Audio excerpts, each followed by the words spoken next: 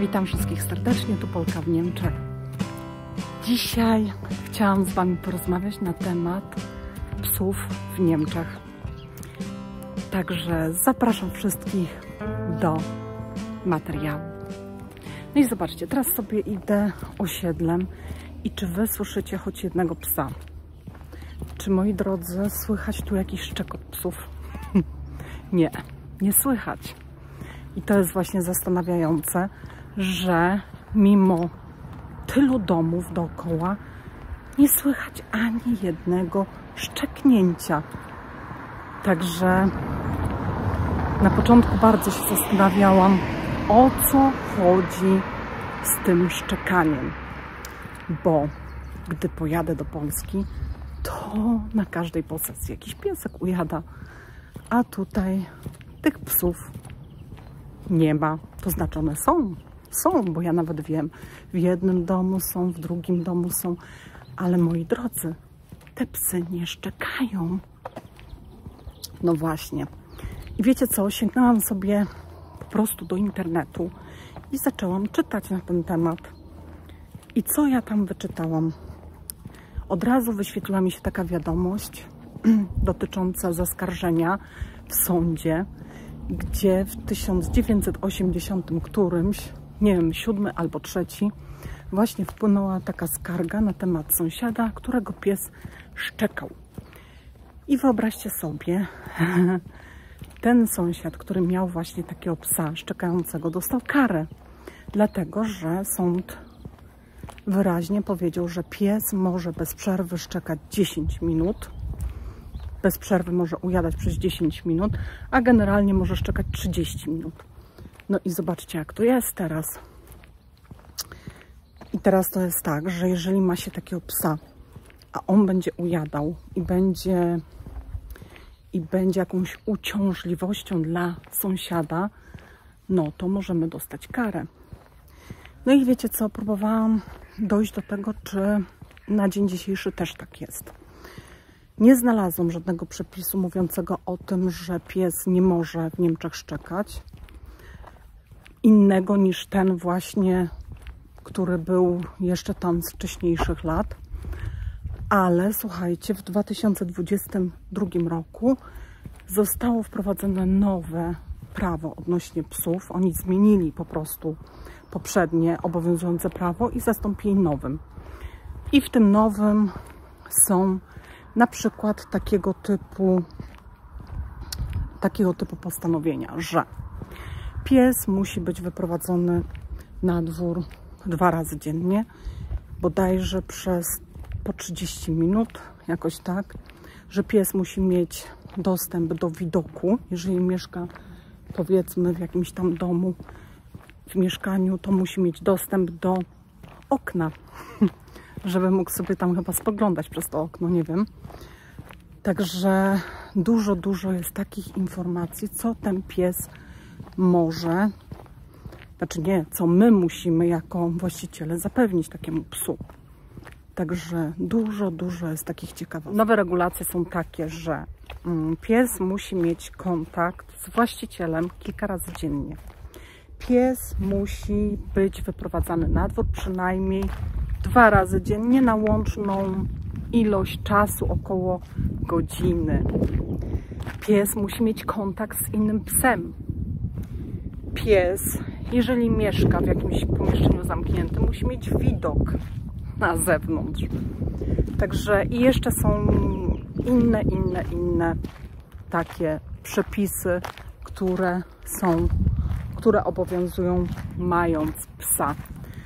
Także widzicie, dobre to jest też, że jednak zwierzak jest chroniony i jest taka regulacja, jest to wyraźnie napisane, co trzeba robić przy takim zwierzaku, w sensie co musimy zapewnić temu zwierzakowi i przynajmniej jeżeli są jacyś tacy pseudowariaci, którzy nie potrafią się opiekować swoimi pupilami i znęcają się nad nimi, no to tutaj jest to srogo karane i jest to niepozwalane. Ale mimo wszystko, słuchajcie, ja w dalszym ciągu jestem zdziwiona, że właśnie tutaj faktycznie nie ma tych psów?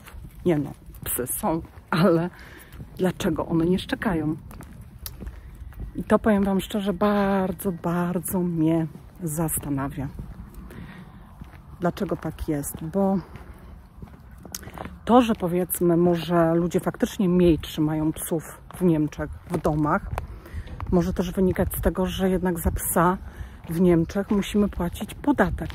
I ten podatek w sumie nie jest jakiś tam mały, bo to jest tak, że u nas za pierwszego psa płaci się tam 100 ileś euro. Już za, za dwa psy płaci się więcej, za trzy więcej i tak dalej. Także te opłaty też są uzależnione od tego, ile psów macie i to się płaci na rok. Ale teraz tak, jeżeli macie niebezpieczną rasę psa, to wtedy płacicie jeszcze więcej. To nawet jest około 500 euro na rok, także też to jest dużo. Ja tutaj nie będę Wam podawać konkretnych e, wartości, ale to jeżeli sobie tam wbijecie, mm, w internecie sobie wbijecie takie hasło, to Wam wyskoczą, jakie tam są e, podatki za psa na dany rok. Oczywiście też trzeba, moi drodzy, od razu, jak się na przykład przyprowadzicie z takim pieskiem, to pamiętajcie, żeby od razu go zameldować, tego psa, dlatego że niestety, ale mogą Wam wylepić od razu karę i ona jest nawet do wysokości 10 tysięcy euro za to, że nie zameldujecie tego psa. Także stanowczo odradzam takich eksperymentów, bo wiem, że w Polsce nie wszyscy rejestrują psa. Nie wszyscy, wiem, że w Polsce nie wszyscy rejestrują swoje psy i wiem też, że nie płacą tych podatków.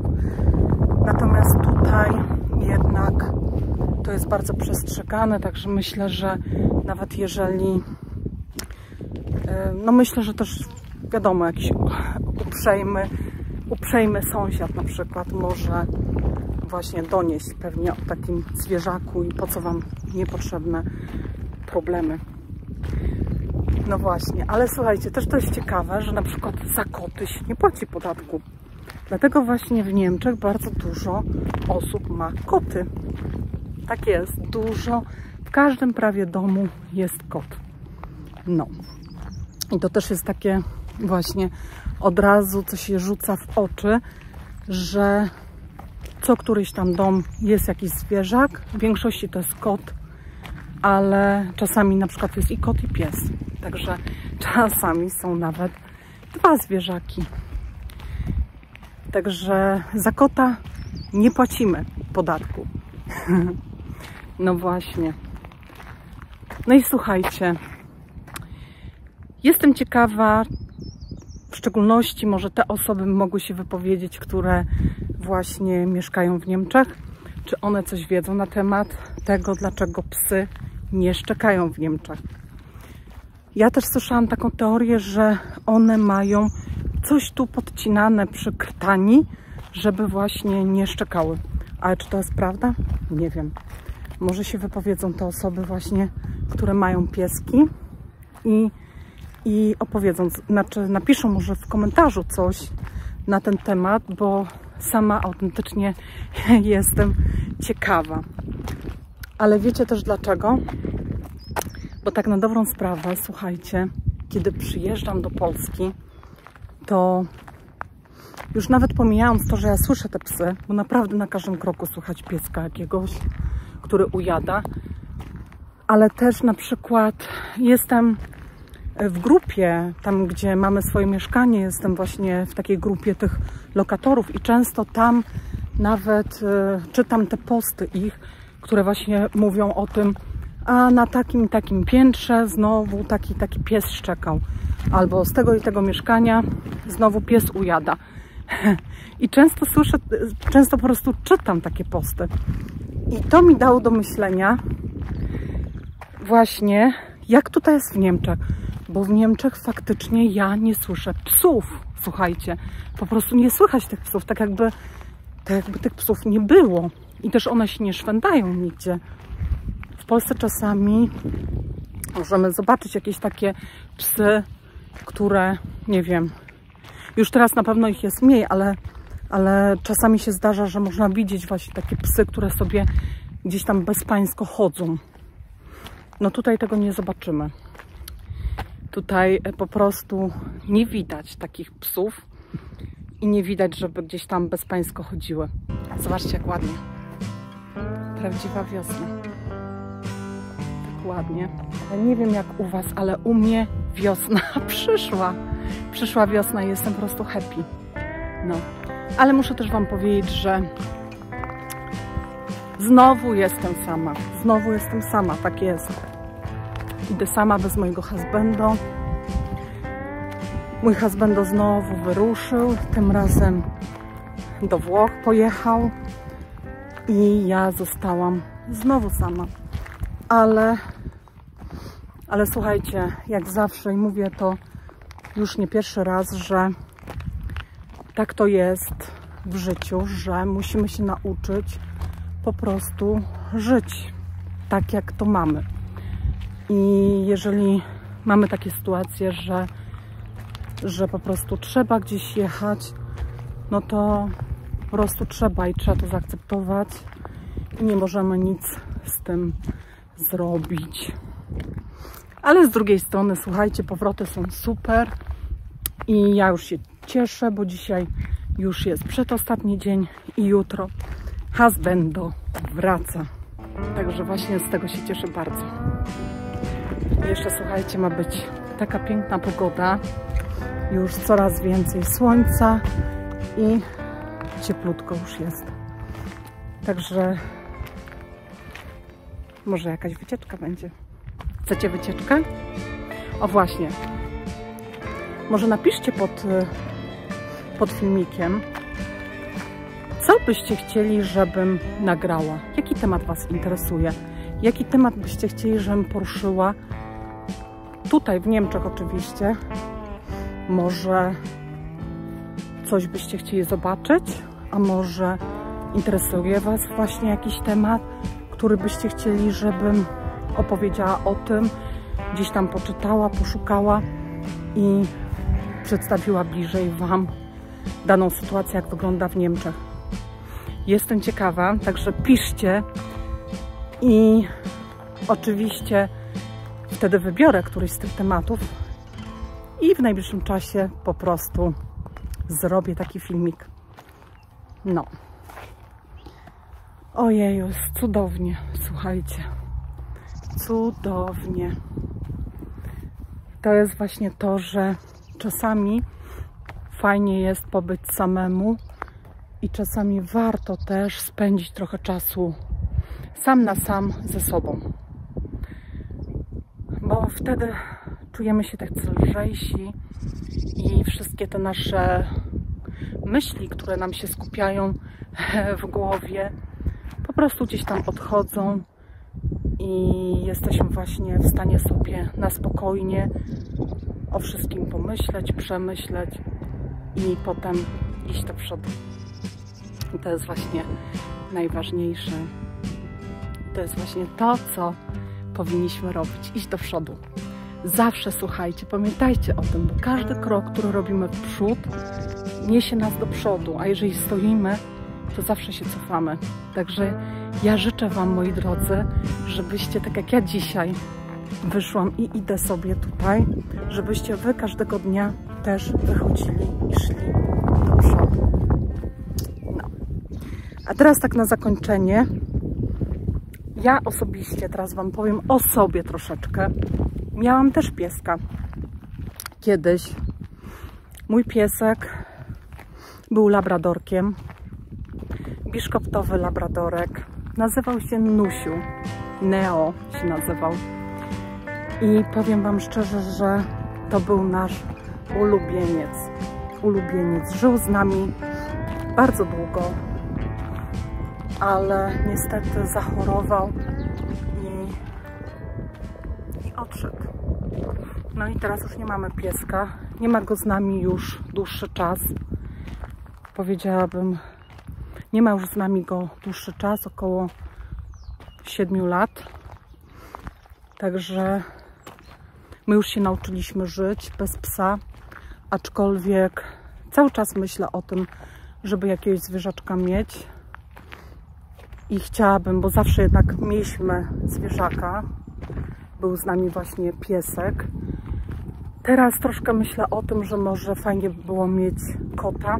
Zastanawiam się nad kotem. I no właśnie.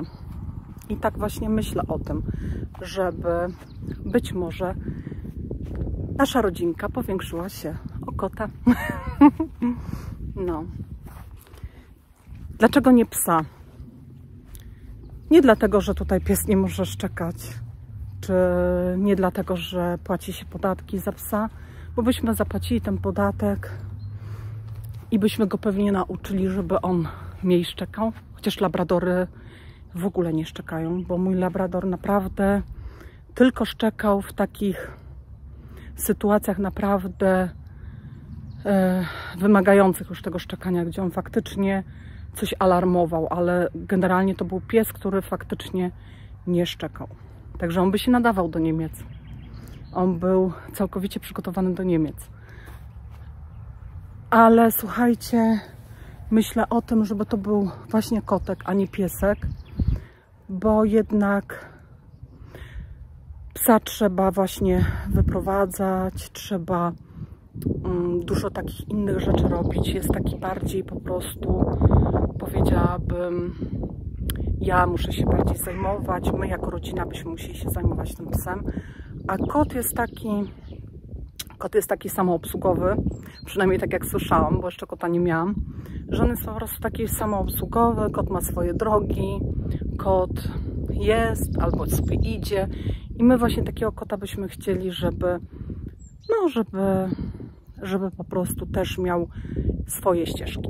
Nie chcemy go jakoś tam ograniczać, zamykać, także żebyśmy go też mieli, żeby nas cieszył sobą, żeby był z nami, naszym przyjacielem, ale też żeby mógł sobie tuptać tu i tam i, i żeby miał też trochę takiej wolności. O takim kotku właśnie myślimy.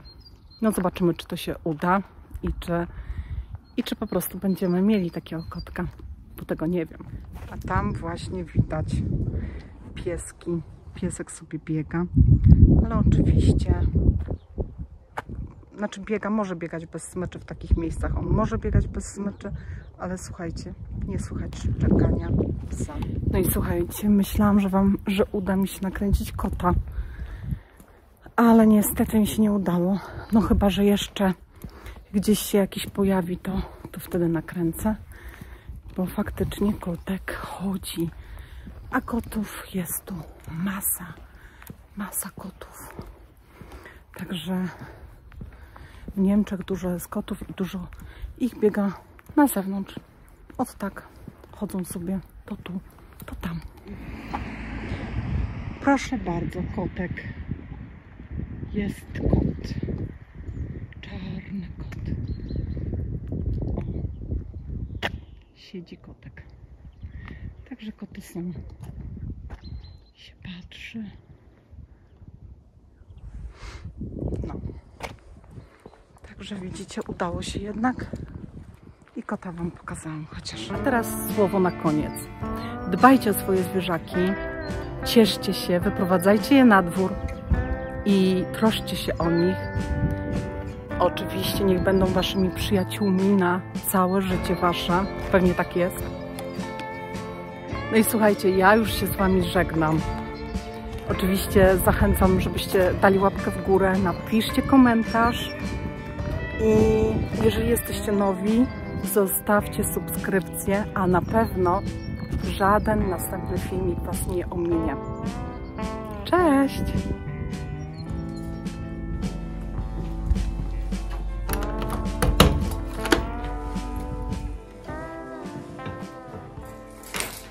Husbando wrócił do domu prosto z Włoch i przywiózł takie oto smakołyki.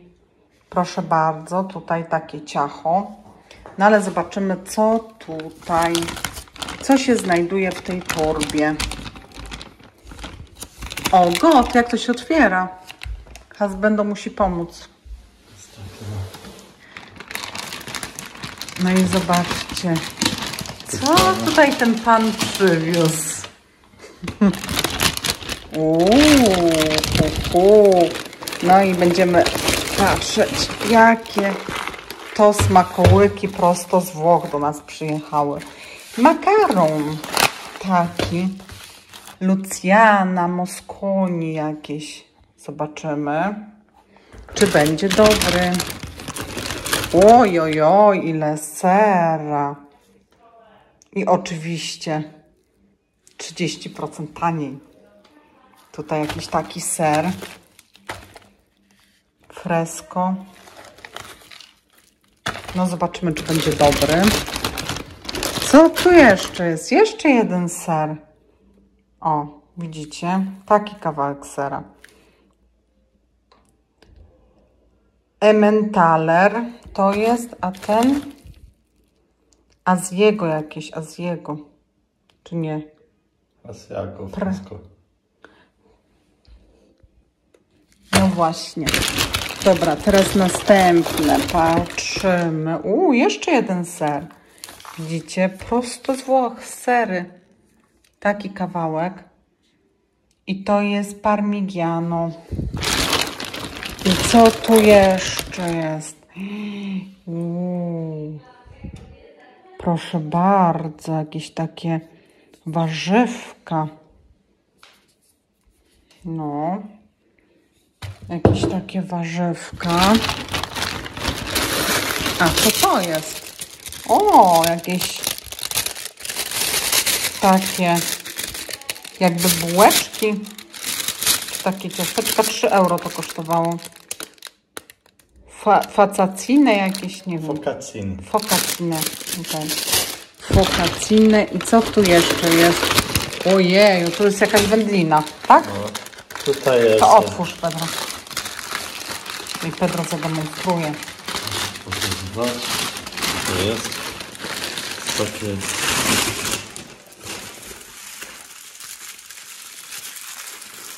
Jak ładnie zapakowane. No, to jest specjalne. Tutaj jest kopa. A, to ty lubisz To koty. by taki ładny wygląda.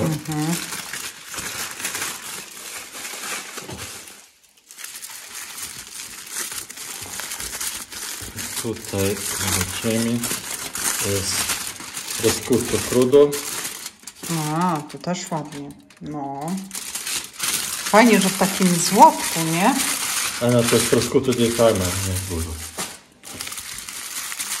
San Daniele.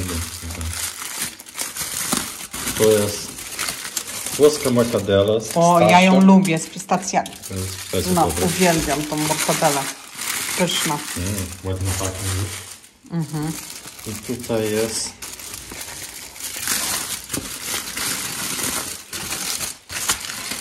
salon specjalny. Uuu, salami też pychota.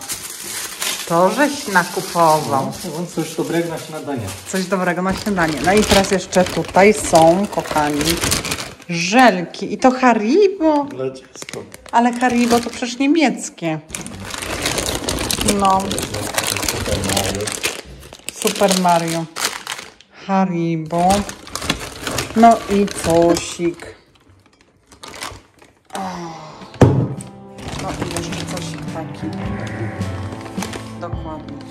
Też. I to wszystko kupione w takim supermarkecie. Esselunga. O, jakie, zobaczcie, jakie góry. Nie? Super.